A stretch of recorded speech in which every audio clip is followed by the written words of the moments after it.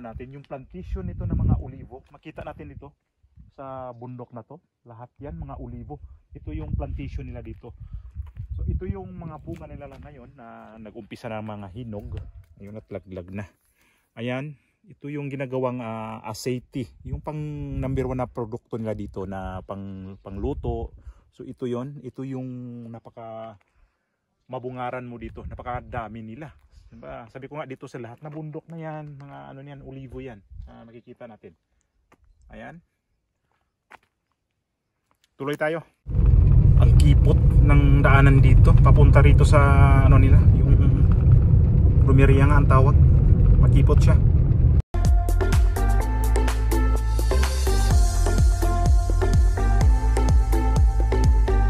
Papasok dito sa may uh, Rumeria nila tawag dito. Ito yung highway na papunta doon. Yung way pala. Hindi naman highway talaga to kasi wala naman masyadong dumadaan. Ayan siya. So makita mo na agad yung bundok na yan. Tapos ang tataas ng mga puno dito. Ito yung matatanaw natin bago ka papasok doon. Ayan, dandahan lang tayo. Kasi makitid ang daan papunta doon.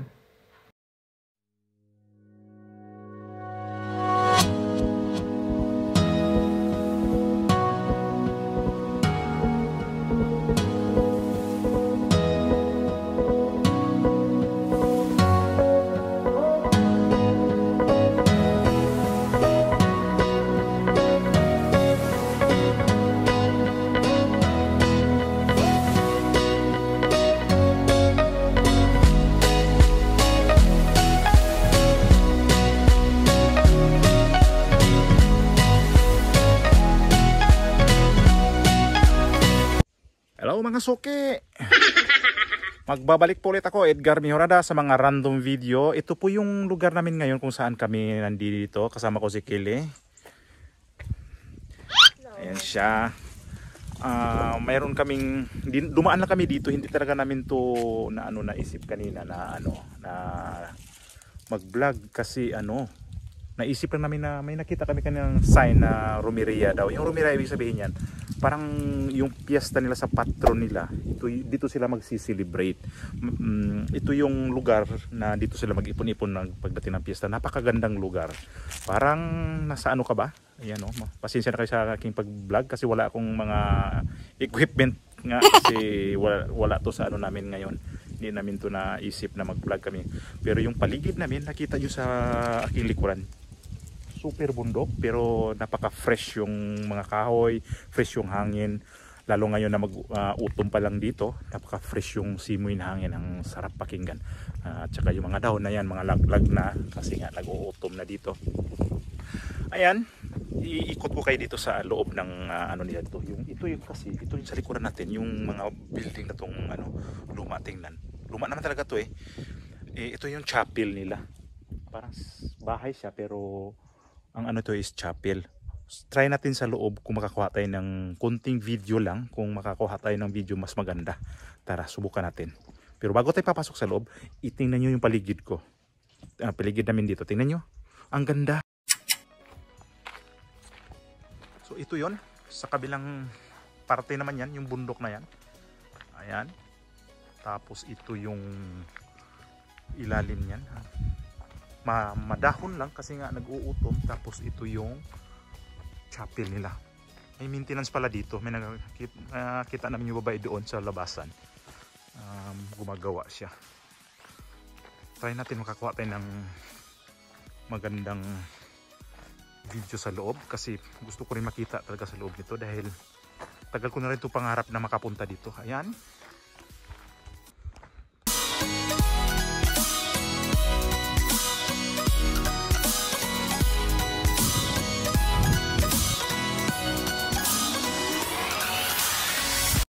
ang linaw ng tubig may isda pa. Kulay orange ayun no? May isda isda yan. Tapos yung tulo-tulo lang ng tubig uh, siguro galing talaga to sa ano sa bundok kasi bundok yung taas nito. Tingnan yung pinaggalingan ng tubig ah. ayan. Ang linaw siguro pwede to mainom.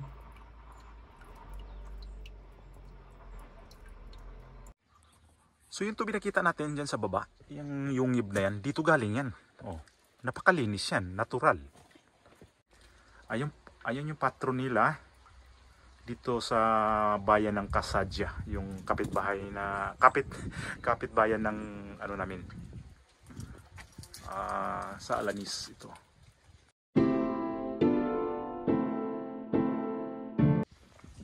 So ito yung harap. Makita natin sa taas yung kampana nila. Ayan.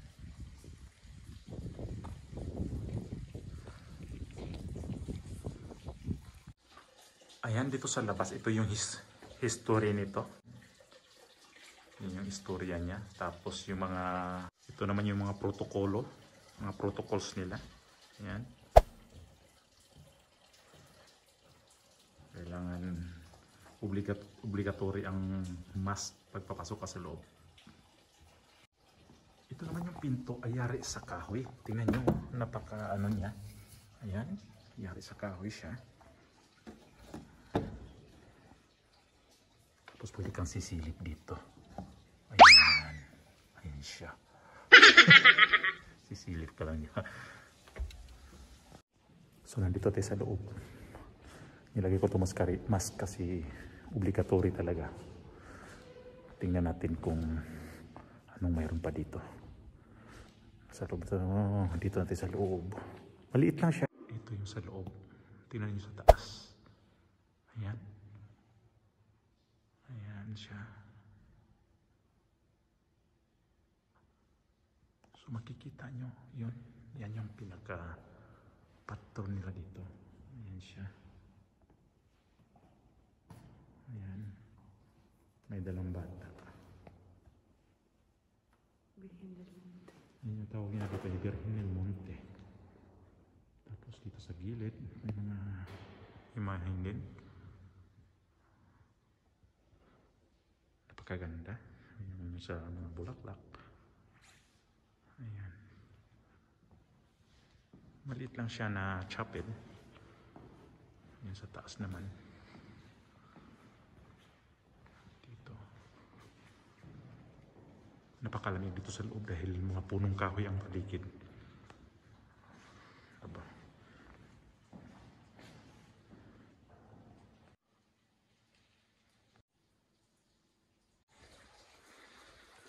So, ayan yung paligid.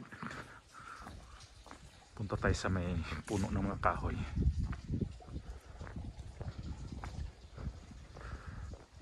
Ayan. Nagtaas ang mga puno.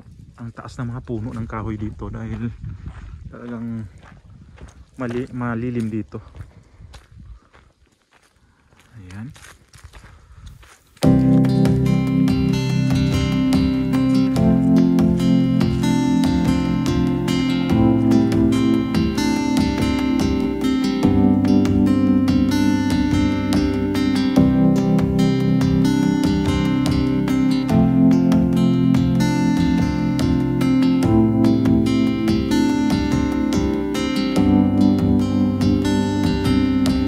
I have searched many years on end. There was none that my soul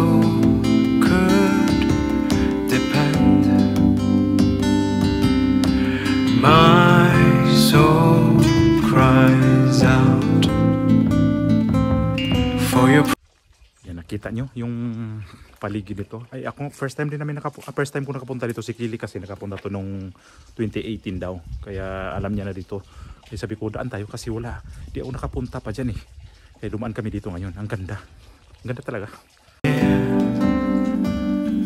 In His name I find, in His name I find, in His name